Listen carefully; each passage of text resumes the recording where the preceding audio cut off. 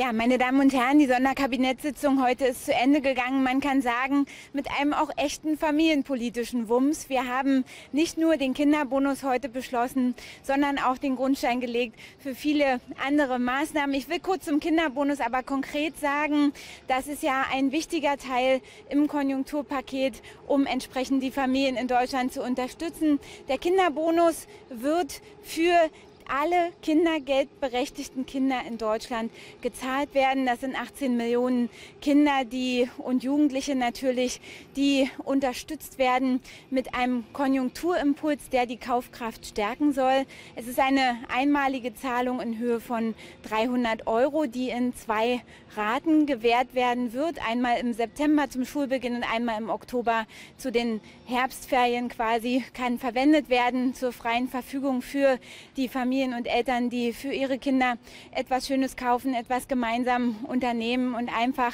dadurch eine zusätzliche finanzielle Unterstützung bekommen.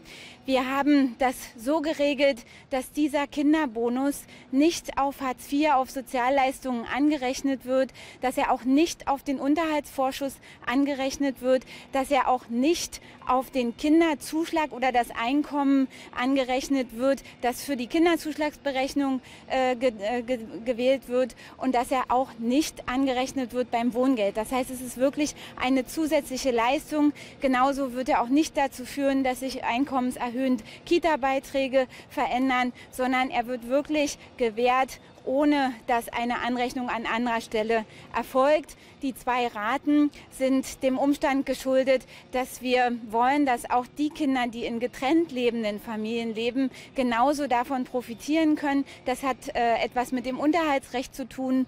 Und ähm, ich äh, bin sehr, sehr froh, dass wir auch vereinbaren konnten, dass eben die Familienkasse da diese zusätzliche Leistung eben auch noch abwickelt, zusätzlich zu dem, was wir bereits mit dem Kinderzuschlag ja seit äh, dem 1. April auch machen. Wir haben ja hier eine Ergänzung zu den bestehenden Leistungen. Kindergeld, Kinderzuschlag für die Familien, die wenig Einkommen haben, mit bis zu 185 Euro pro Kind pro Monat. Der Kinderbonus kommt jetzt nochmal obendrauf.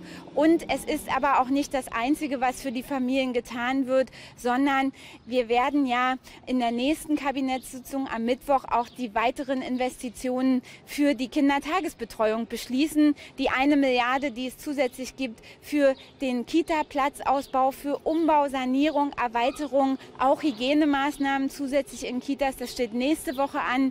Und die zwei Milliarden, die es zusätzlich geben wird, um den Ganztagsausbau an Grundschulen in Deutschland voranzubringen, wo wir also eine Antwort geben heute auf die Frage, wie können wir finanzielle Unterstützung für die Familien leisten im Sinne einer Kaufkraftverstärkung, aber genauso eine Antwort geben, wie können wir es schaffen, dass eben auch die Kindertagesbetreuung in Deutschland ausgebaut wird.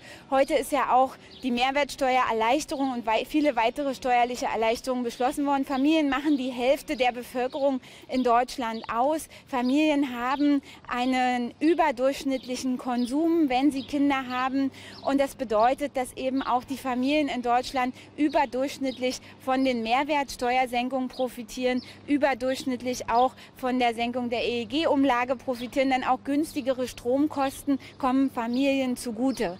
Und ich will auch sagen, wir haben ja geschafft, dass der Entlastungsbetrag bei der Steuer für Alleinerziehende noch mal verdoppelt wurde von 1.908 auf 4.008 Euro. Das heißt, es wird also dieser besonderen finanziellen Situation, die Alleinerziehende haben, auch noch mal besonders gerecht durch zusätzliche steuerliche Entlastung. All das ist ein Gesamtpaket, was den Familien hilft.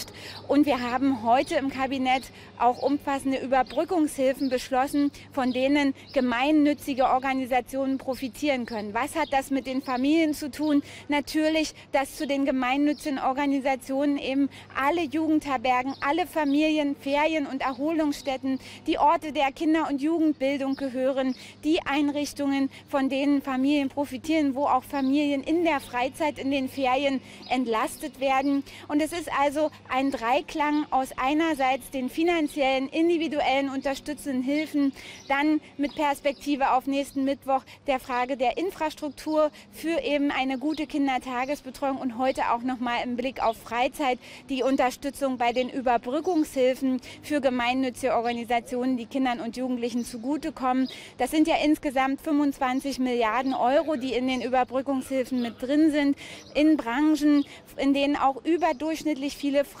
tätig sind. Das sind alles auch Frauen und Männer, die Familien haben und diejenigen, die jetzt eben nicht ihren Arbeitsplatz verlieren, sondern vom Kurzarbeitergeld profitieren, von den Überbrückungshilfen profitieren. Das sind diejenigen, die ihren Kindern eben auch nicht erklären müssen, dass sie keine Arbeit mehr haben, sondern die eine Perspektive gemeinsam mit ihren Familien, mit ihren Kindern haben. Und deshalb ist das heute ein guter Tag für die Familien in Deutschland, für uns im Familienministerium, ein großer familienpolitischer Erfolg, der eben die unterschiedlichen Bedarfslagen, die Familien haben, auch berücksichtigt.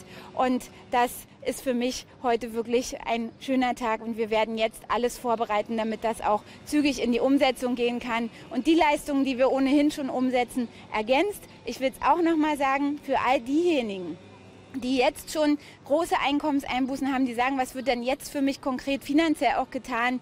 Unser Notfallkinderzuschlag, den wir seit dem 1. April ja eingeführt haben, wird rege genutzt. Wir haben in den letzten zwei Monaten über 200.000 Kinder zusätzlich im Notfallkinderzuschlag. Und das bedeutet, dass eben auch diese Familien bis zu 185 Euro pro Monat pro Kind bekommen können. Und der Kinderbonus, wie gesagt, kommt jetzt noch mal dazu. Ich kann allen nur empfehlen, auch auf unseren Seiten bei www.familienportal.de für äh, die Seiten des Familienministeriums sich zu informieren informieren und digital auch zügig die Anträge zu stellen bei der Familienkasse, um das auch nutzen zu können.